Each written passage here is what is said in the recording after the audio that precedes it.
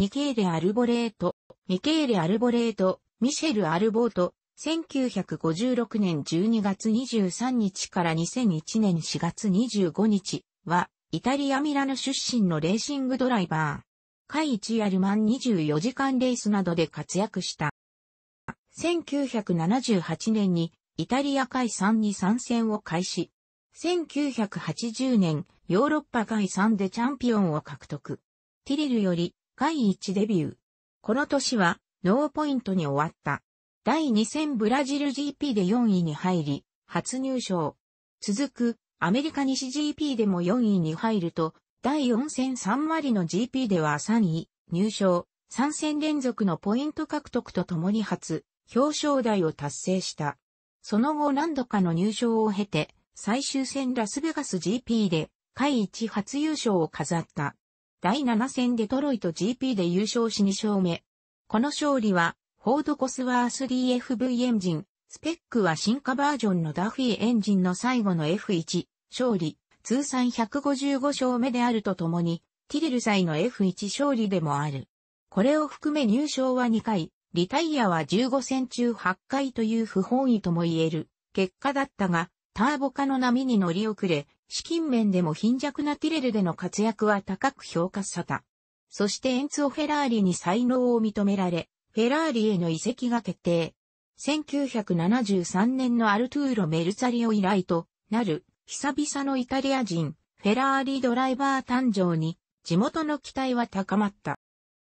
チームのエースドライバーとして加入したアルボレートは第3戦のベルギー GP で初のポールポジションを獲得、決勝でも独走での優勝を飾る。この年は16戦中8回のリタイアを喫すが、6度の入賞を記録し、選手権4位となった。この活躍により、往年の名ドライバーアルベルト・アスカリの再来と呼ばれ、ティフォシたちの人気者になった。マクラーレンのアラン・プロストとチャンピオン争いを繰り広げ、 F1生活でのハイライトと言われる年となった。アルボレートは第9戦ドイツ GP でシーズン2勝目を挙げ、ランキングトップに立つが、第11戦オランダ GP にてプロストに逆転を許した。その後アルボレートは、それまで2度のリタイアを除いて、すべてのレースで表彰台と安定していた成績が突然乱れ、最終戦まで5戦連続のポイントに終わった。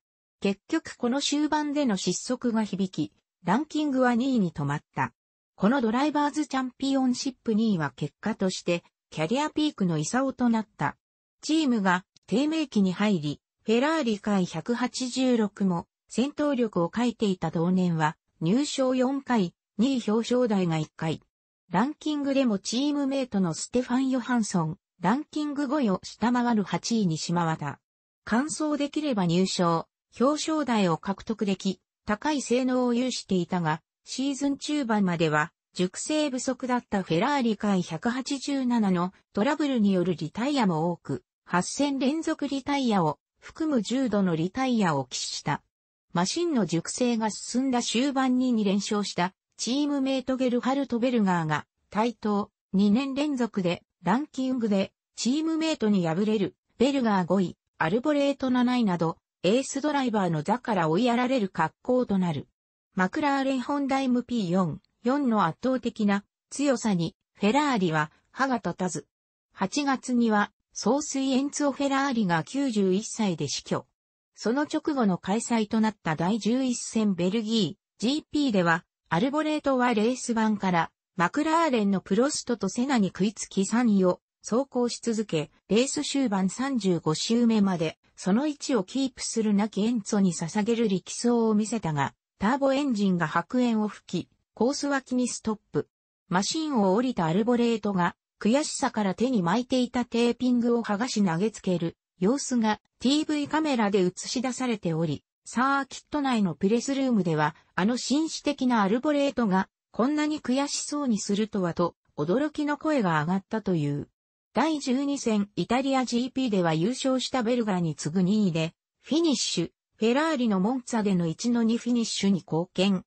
ファステストラップも記録している。フェラーリチームのエースは、ベルガーとなり、アルボレートは、デザイナーのジョン・バーナードとの対立が深刻化。フェラーリ639のシャシーコンセプトとセミオートマチックトランスミッションをめぐって、バーナードと大喧嘩したと自身で語っている。チームは新たにナイジェル・マンセルと契約。アルボレートはこの年限りでフェラーリを離れた。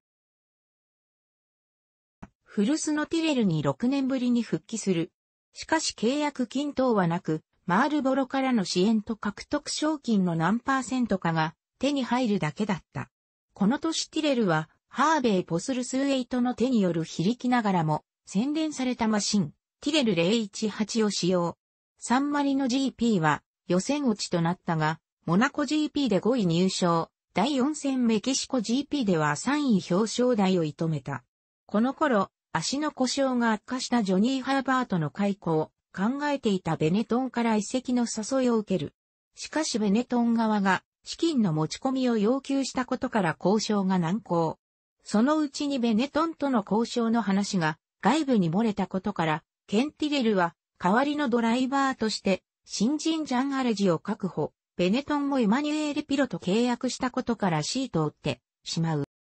その後に戦欠場を経て、スランプに陥っていた、ヤニック・ダルマスの後任を探していたラルースのチーム代表、ジェラール・ラルースから声がかかり、第9戦にシュドイツ GP からラルース・ローラエル89の29号車のシートを得た。ラルースは、マールボロのライバルであるキャメルからの支援を受けていたことから、長年支援を受けてきたマールボロとの契約を打ち切ってのラルース加入であった。感想は、第13戦ポルトガル GP の1回に止まった。4回のリタイアを喫し、ラスト3戦は決勝に進むことができなかった。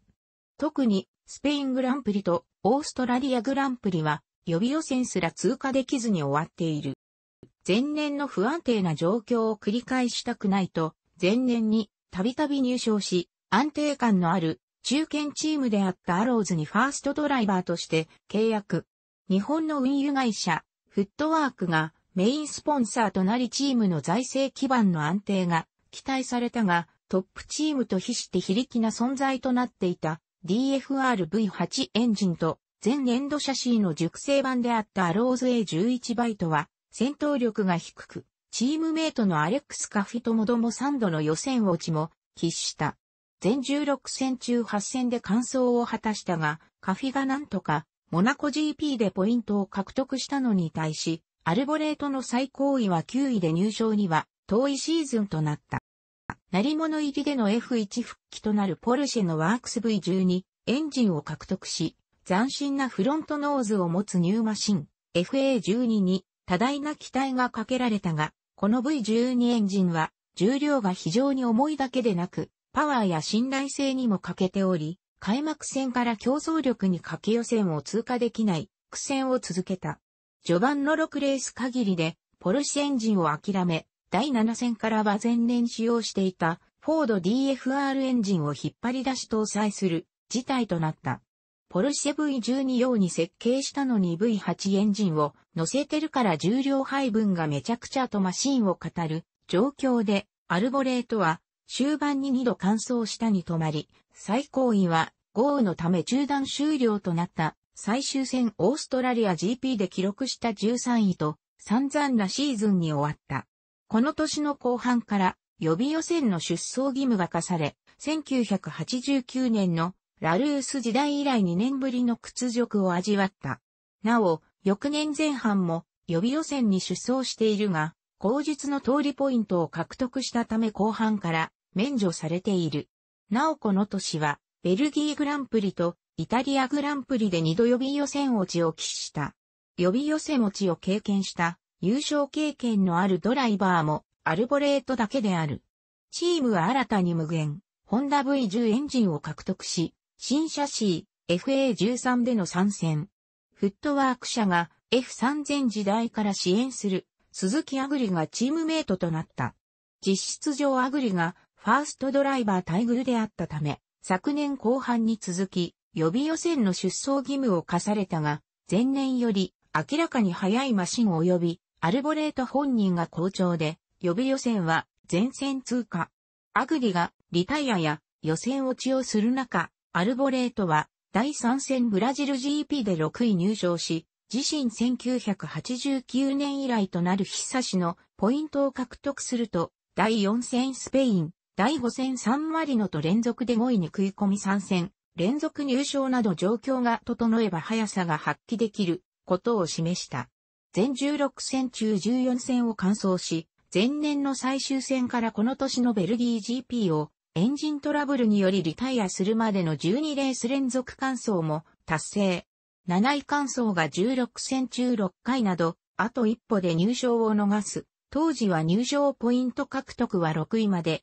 レースも多かったが、この年最も多くの周回数をこなした、回一ドライバーとなりその実力が再評価される。しかし、第15戦日本 GP 直前に、チームオーナーを大橋渡るの後押しがあったアグリを、来季も残留させ、同年の SWC で、プジョー905ワールドチャンピオンに導いたデレック・ワーウィックと新たに経営したことを発表。好成績を残したアルボレートを同シーズン終了をもって放出した。前年の活躍があり、スクーデリアイタリアのシートを確保した。しかしこの年に使用したローラ製シャシー T93、30はホイールベースが 3030mm と長大すぎる欠点があり、予選通過にも苦しむ出来であった。搭載するフェラーリ V12 エンジンとのマッチングも最悪であった。本家フェラーリも大不振のシーズンであり、カスタマーエンジンはそれに輪をかけたように輪がなく、5回の予選落ちを喫し決勝での入賞は一度もなかった。この年終盤には同じく資金難にあえぎ、会一参戦危機となったミナルディとのチーム合併へ向けた作業が本格化し、第14戦ポルトガル GP でヨーロッパラウンドが終了すると、スクーデリアイタリアは終盤2戦、日本、オーストラリアの渡航費用を捻出できず、会一から撤退したため、アルボレートも欠場となった。同年シーズン終了後の11月、リカルド・パトレーゼと契約終了し、翌年に向けてエースとなったミハイル・シューマッハのチームメイトを探していたトップ4チームの一角であるベネトンからテストライブのオファーを受けた。12月13日からカタルニアサーキットでベネトン B193 を4日にわたって走らせ、延べ222ラップを担当。ベネトンのオーナーであるイタリア出身のは、イタリア人ドライバーであるアルボレートの獲得を希望し、シューマッハも若いチームメイトではなく、経験豊かなアルボレートの加入を強く推していい。この合同テストでは J、J レートもオーディションとしてベネトンで走行しており、ベストラップ、アルボレート1分19秒77、レート1分18秒66で1秒以上、アルボレートを上回ったレートがベネンに選ばれ、アルボレートはこの後母国のミナルディと交渉することになった。また、ミカ発記念のパートナーが決定していなかったマクラーレンのロンデニスともかなり交渉していという。トップチームのシートは得られず、結局スクーデリアイタリアと合併したミナルディから参戦することになった。ローランド・ラッツェンバーガーとアイルトン・セナの死亡事故が発生した大戦サンマリノでは、決勝レース中にタイヤ交換を終了したアルボレートの後輪がピットアウト時にホイールごと外れてしまい、高速で転がったタイヤホイールが他チームのメカニックにぶつかった目複数の負傷者が出てしまった。この事故はそれまで無制限だったピットレーンでの制限速度規制を回1に導入するきっかけとなった。第4戦モナコではサバイバルレースを生き残り6位入賞を果たす。しかし、その後はチーム状況から目立った活躍はできず、この年をもって会一からの引退を発表した。その後は、インディア・ルマンなどに活躍の場を移し、1997年ルマン24時間耐久レースでは、トム・クリステンセン、ステファン・ヨハンソンと組優勝に輝いた。しかし2001年、ドイツのラウジッツリンクにて、ルマン24時間耐久レースのために行っていた、アウディ R8 のテスト走行中に、タイヤがバーストしクラッシュ、ほぼ即死であった。44歳没。イタリア人ファンにとっては、イタリア人が運転するフェラーリが優勝することが唯一最大の願いであり、そのファンの中でもミケーレ・アルボレートはイタリア人ファンに愛された。これにはミケーレの不運な境遇、超一流のドライビングテクニックに対する同情、賞賛がある。そのため、イタリア国内で行われる海一グランプリには、ティフォシと呼ばれるフェラーリ熱狂支持者多数訪れるが、そのティフォシたちが絶叫する言葉は常に、フォルツァミケーレ、ミケーレ頑張れ、であったと言われている。海一カーがまだ、マニュアルトランスミッションを採用していた1980年代。海一ドライバーとして、自身が最も油が乗っていた時期とフェラーリの低迷期が重なってしまい、成績そのものは冴えなかったが、ドライビングテクニックを評価する声は多かった。愛用のヘルメットは青地に太い黄色の一本輪で、尊敬していた、海一ドライバー、ロニー・ピーターソンのヘルメットカラーをモチーフにしたデザインだった。1986年には、ピーターソンのトレードマークであったバイザー上部に、被差し付けのヘルメットを使用した。1984年の活躍により、アルベルト・アスカリの再来と呼ばれ一躍人気者になったアルボレートだが、その彼もアスカリ同様、出身地がミラノであることから、アスカリと同じく、フライングミランとニックネームを付けられた。余談だが、これまた、アスカリ同様アルボレートも、典型的な先行を逃げ切り型タイプであり、一度トップに立つ、または、ポールポジションを獲得するとその後はその座を守り続けて優勝というパターが多かった。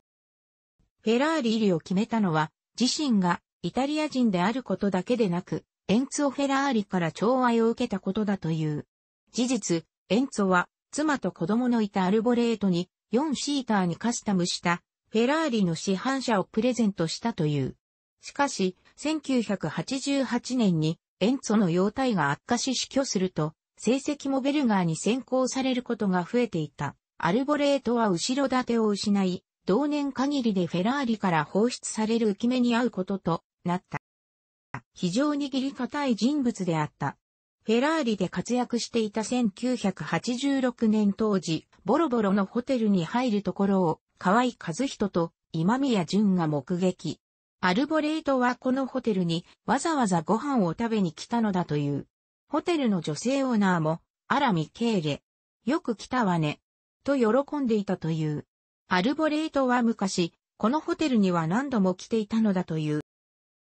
フェラーリ所属最終年となった1988年の夏には、翌1989年に向けて、複数チームからオファーがあったが、他のチームのオファーは断り、フェラーリ移籍が決まったナイジェル・マンセルとイレバル型で、ウィリアムズとの交渉に一本化し、最終段階まで進んでいたが土壇場で、ウィリアムズ側から一方的に破棄されたウィリアムズと新たにエンジン供給契約をしたフランスのルノーエン搭載に不可欠であったフランス語を話せるティエリー・ブルツェンを起用することが優先され、チームがリカルド・パトレーゼの残留を選択したため、アルボレートはイタリア GP 前にパトレーゼとブーツェンが正式発表された時、ただただ驚いた。その瞬間から僕はひどい苦境に立たされた。来年ウィリアムズに乗ることは決まったと信じていたから、イタリア GP までの2ヶ月間他チームとは全く